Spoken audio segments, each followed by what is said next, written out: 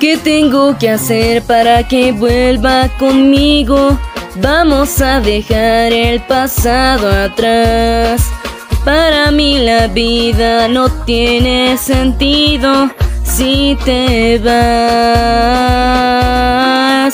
¿Qué tengo que hacer? ¡Camilo!